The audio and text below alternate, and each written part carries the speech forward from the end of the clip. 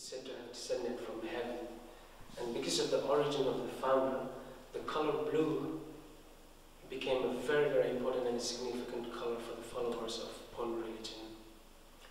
And uh, before the arrival of Buddhism, the Ponpo priests, the clothings and uh, the clothes to wrap religious scripts or objects were all in, in this color of the sky, blue. Nowadays, even though Pon has uh, absorbed a lot of Buddhist traditions, including the robes worn by monks, the border of the monk's vest, the hat, and the lower garments are still sewn in blue.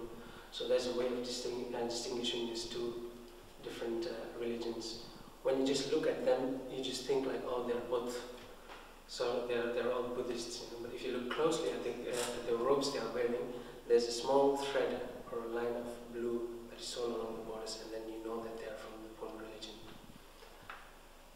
Um, and finally, when Buddhism arrived in Tibet, it brought an array of more symbolic systemization of colors.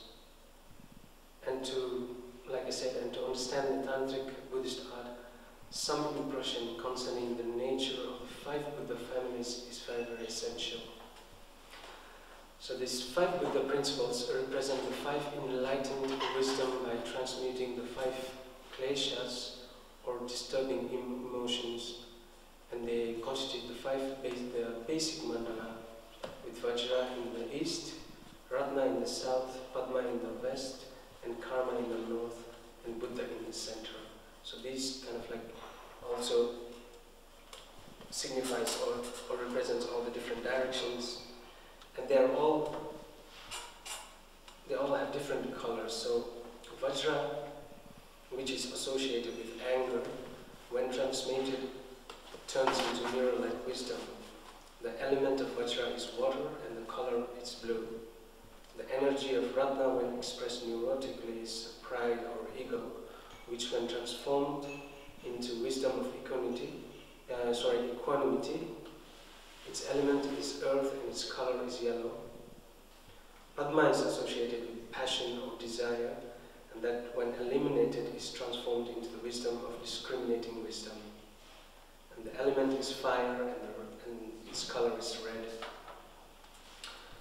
The karma energy uh, manifests uh, neurotically as jealousy and on the awakened level as all accomplishing wisdom. The element is air and the color is green. Buddha is associated with ignorance, which is transmuted in the wisdom of fundamental, all pervading rule or awareness. Its element is ether and the color is white. So these five colors, they are quite important uh, in uh, Thangka painting because these five colors are what Thangka painters consider as uh, the basic or the primary colors.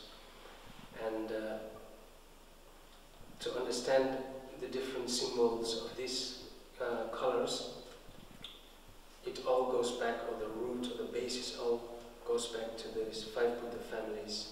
And then there's another um, what we call the four Buddha activities, which are also all in these different five colors. Once you understand that, then you get a little sort of like a general idea of how the thangkas or what the thangkas, the colors really symbolize. So the four different Buddha activities or the karma activities are pacifying, enriching, magnetizing, and subjugating. White, yellow, red, and green. And blue also comes in later. The white symbolizes peace and purity, and the deities associated with the activity of pacifying are generally white in color. So, if you take uh, Avalokiteshvara or Chenrezig, they belong to this group of deities. Yellow symbolizes the encompassment of all the precious qualities of realization, and the deities associated with the enriching activity are yellow or golden color, and they symbolize the spiritual wealth. And in this particular group, the deities are in Tibetan what we call the uh, Namtuse and Kubera. Those are all deities of wealth, you know, symbolizing the richness of the spiritual or of the Dharma. Um, red symbolizes magnetizing through generosity and giving, and the deities associated with this activity are red in color. You know, most famous being, of course, Buddha Amitabha, and who's also one of the five Dhyani Buddhas, is the Buddha from this uh, activity. Uh, green symbolizes the annihilation or subjugation of negative emotions, and the deities associated with this activity are green in color. Uh, for example, the green Tara. You know.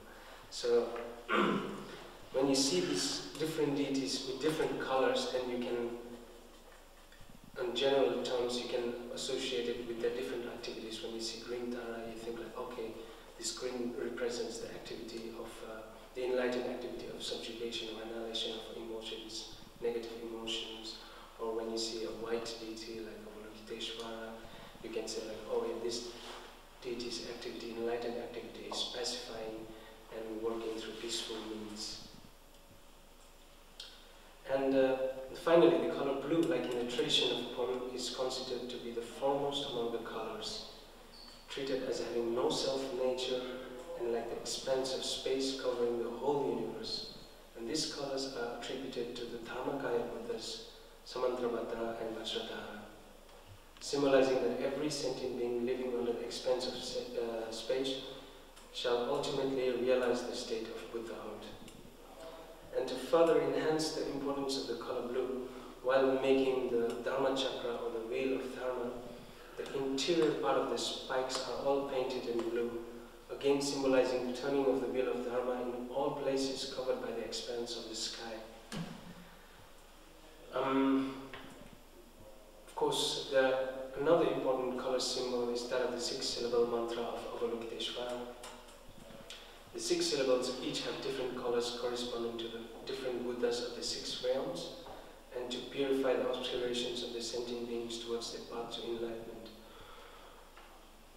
This is, uh, of course, a very, very uh, compressed, a very short meaning over here because the six syllable mantra has a very, very profound meaning. If you just want to explain everything, you could take another lecture just to explain the six syllable mantras. But in general terms, just to talk on symbolism of colors. I just took this part because it's, of course, one of the most important mantras of Tibetan Buddhism. So the white Om is for the realm of the God and is the color of the Buddha of the realm of the God. The green Ma is of the demigod realm. The yellow Ni is of the human realm. The blue Be is of the animal realm. Red mane is of the hungry ghost realm, and the black hum is of the hell realm. So, when Tibetans or when anybody who chants these mantras, they have to realize that every syllable they're chanting is freeing the sentient beings living in the six realms from their obscurations and leading them towards the path of enlightenment. So that's why it's considered very, very important. And uh, so these are basically the principles of the colors that one has to have some understanding of before gaining some insight into Thangka painting. Of course, we can, there are many others symbolizing, but in general, if you have an understanding of these colors, I think that should be enough of uh, getting some insight into